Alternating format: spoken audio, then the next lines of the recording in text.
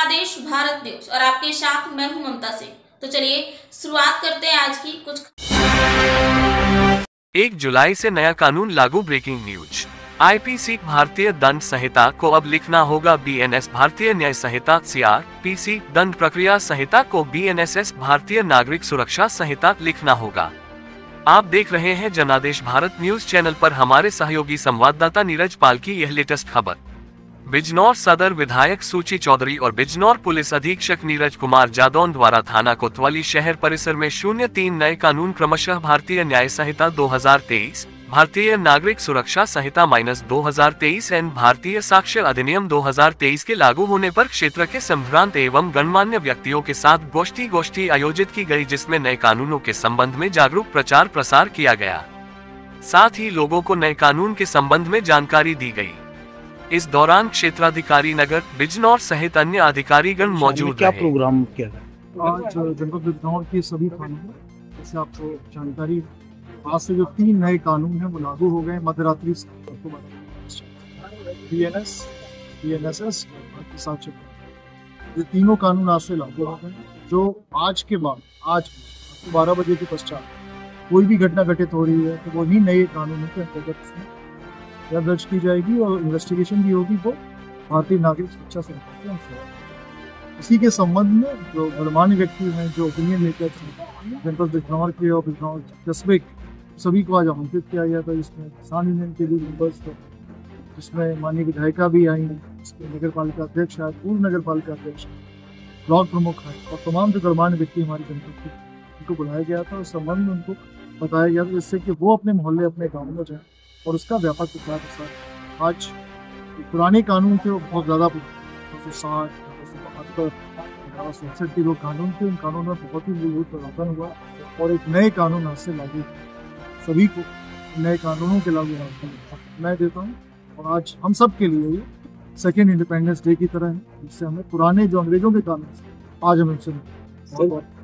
ये कानून जो लागू हुए हैं आम पब्लिक को तो कम पता है तो यहाँ पे विभाग की तरफ़ से कोई प्रचार प्रसार इस तरीके से किया जाएगा प्रसार पिछले चार दिनों से हम लोग इसका प्रचार प्रसार कर रहे हैं।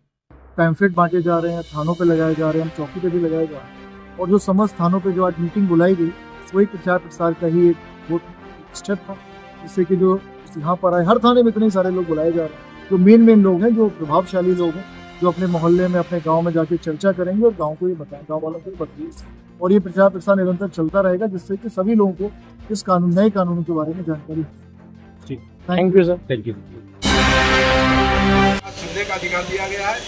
और ये आपराधिक न्याय के लिए न्याय केंद्रित दृष्टिकोण का सबसे अच्छा उदाहरण है।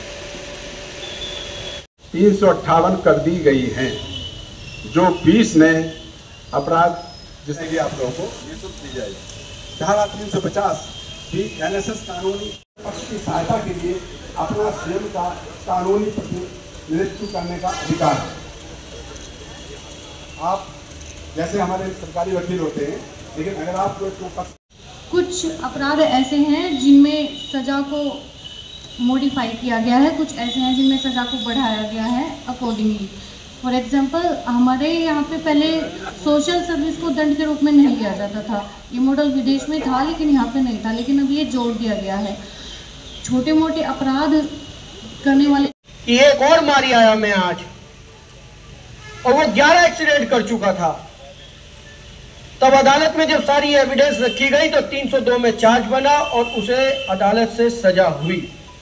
पर अंग्रेज़ों ने जब ये कानून बनाया था तो गाड़ियाँ सिर्फ़ अंग्रेज़ों पे थी, हम भारतीयों पे नहीं थी। उन्होंने अपनी सहूलियत से 304 ए को बेलेबल ऑफेंस में डाल रखा था। और आज केंद्र की सरकार ने इन मुद्दों को गंभीरता से लेते हुए आप तक इस मज़बूत प्रावधान को पहुँचाने का प्रयास किया है। यहाँ पर बैठे सभी महानुभाव से, प्रधानगणों से, जिला पंचायत सदस्यों से, ब्लॉक प्रमुख साहब से और समस्त अपनी यूनियनों के अध्यक्षों से, पदाधिकारियों से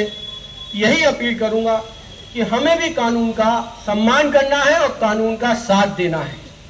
आपके गाँव में, बस्ती में,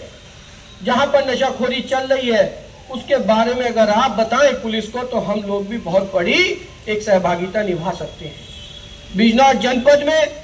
अभी पीछे कुछ,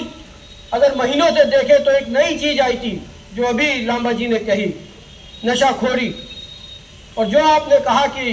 होटलों पे और इन दुनिया भर के जो प्रतिष्ठान है, वहाँ पर फ़ूड इंस्पेक्टर का जाना भी ज़रूरी है, क्योंकि मिलावटी खाना हमारे शरीर को खोखला कर रहा है।